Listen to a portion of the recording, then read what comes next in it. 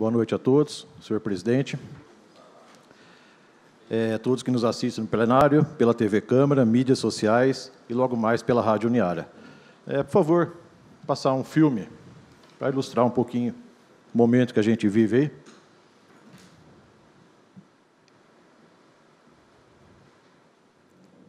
Olha o tempo, por favor. Isso. Apagar a luz. Você vai dizer para você mesmo quando chegar no futuro? Será que vai gostar do resultado da vida que planejou? Será que vai ficar feliz com o que conquistou? A vida é feita de escolhas e elas podem determinar como vai ser o seu amanhã. Por isso, é tão importante pensar em tudo que faz. Um caminho errado pode levar você a um destino obscuro e muitas vezes sem volta. E nessa caminhada, cada escolha importa.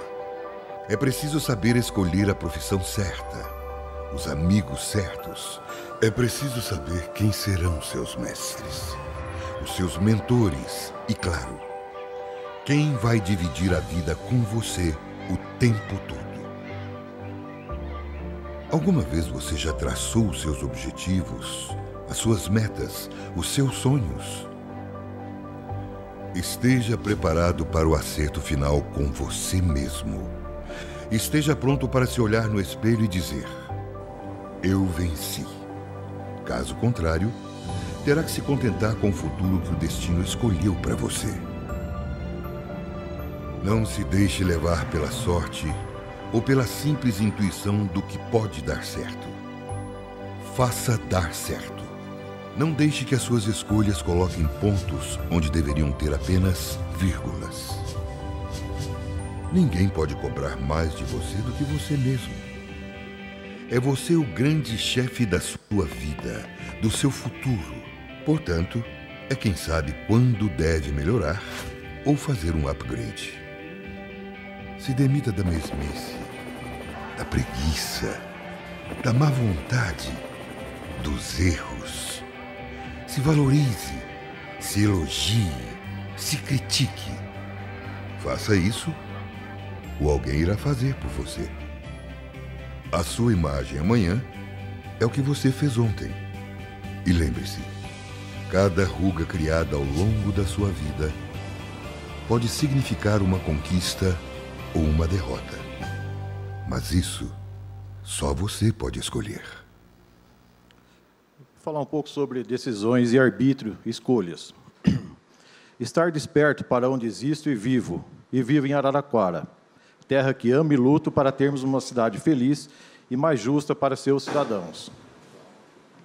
Quando me posiciono sobre assuntos de caráter transpessoal, preciso pensar em dois níveis: decisões e arbítrio, né? escolhas. Decisão. O que as pessoas chamam de mudanças nada mais é que a mudança de um preconceito para outro segundo Albert Einstein. Arbítrio. Arbitrar é ter o poder de mudar a realidade e focar uma escolha. Por exemplo, escolho ter uma experiência plena e mudar minha realidade, não aceitar o que for imposto por algumas pessoas. Por isso, se eu colocasse minhas decisões em nível pessoal, sem ouvir realmente as necessidades da sociedade, não estaria correto. E isso tenho feito diariamente através das mídias sociais, em atendimento em meu gabinete mesmo que muitos pensem que eu não esteja presente e a par dos acontecimentos de nossa comunidade. Quero aqui registrar, em primeiro lugar, o meu respeito maior à voz do povo, com pessoas que mais sofrem diretamente com as decisões tomadas nesta casa e no executivo.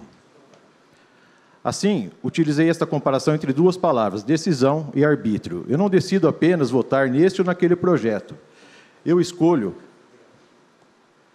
como meu livre-arbítrio, mudar a realidade que se apresenta de forma pouco social, querendo que a população engula goela abaixo este aumento do IPTU, apenas para socorrer o endividamento do executivo. Por isso, sugiro que seja mais criativo, busque novas fontes de rendimento, crie polos de desenvolvimento, apresente suas contas e planejamentos. Não faça do legislativo a extensão de sua administração. Entendam, companheiros, que nesta casa representamos o povo e é para ele que fomos eleitos. Será que não temos outras fontes para buscar renda para a prefeitura? Sejamos empreendedores, pois é fácil administrar com dinheiro público apenas aumentando impostos. O senhor, prefeito, foi eleito para ser criativo e inovador. Não delegue para o povo de Araraquara esta conta, este povo que já está sendo massacrado pela velha política, que apenas resolveu o seu problema aumentando impostos. Por isso, convoco a todos os cidadãos a continuarem nesta luta. Vamos buscar a igualdade, o respeito e sermos mais criativos para solucionar nossos problemas. E para encerrar, deixo a frase: Se estiver passando pelo inferno, continue caminhando. Winston Churchill. É, presidente, só um minutinho, não cabia Claro. ainda. Então, é, eu, eu quis deixar bem claro sobre essa situação que nós estamos de- debatendo no, no IPTU, embora muitas vezes não entendido pelos pares. E hoje, tem gente que quer mídia social só para o lado bom. Mídia social para ser discutida. Quem vota ou coloca o projeto para discussão é porque está de acordo com ele. Parabenizo o Magal pela retirada, Magal, a tempo. Você foi muito feliz aí, parabéns mesmo, ter ouvido seus familiares, seus amigos, seus eleitores, por ter feito essa retirada. Está de parabéns, você merece nosso respeito. E tem gente que quer só mídia social pelo lado bom. Ora, a vida não é só o lado bom. Nós temos que votar e quem votou está com a sua consciência tranquila e está certo, de acordo com o seu pensamento. Ninguém pode falar mal. Mas falar que votou apenas para fazer encaminhamento, ora, Gente, tenha dó, a população não merece ouvir isso, principalmente nós vereadores. Se eu faço um encaminhamento, se eu não estou de acordo, como que eu vou fazer um encaminhamento? Não tem cabimento. E a gente tem que ouvir isso aí nos dias atuais. É difícil. Então, ou a gente muda essa velha, velha política, não temos que agradar executivo nenhum, nós temos que cobrar transparência e temos que cobrar a tempo, porque até hoje não foi feita essa transparência. Esse projeto do, IP, do, do, do IPTU, da planta genérica, veio, até agora, na verdade, ninguém entendeu. Mais um minuto, O presidente. senhor tem direito. Até agora, na verdade, ninguém entendeu o que a prefeitura quer, o que ela vai fazer. Se, se for o contrário, então, não foi bem eh, explicitado, eu não entendi. Então, como nós vamos provar uma situação dessa, eh, que amanhã nós vamos ser cobrados pelos nossos munícipes, eleitores, cidadãos de Araraquara, essa situação? Ah, mas vocês votaram? Ah, não sabia. Ah, mas vocês assinaram para colocar em encaminhamento esse projeto? Ah, não sabia. Ia discutir depois. Ô, gente, o que, que é isso? Né? É falta de respeito para os, cidadãos, os nossos cidadãos de Araraquara, para os nossos eleitores. Eu acho que nós não podemos falar isso nesse tempo que nós estamos, nesse século, nesse tempo que a gente está. Então, só fiz essa exposição de filme para ilustrar bem. Quem sabe a gente consegue abrir as mentes de algum.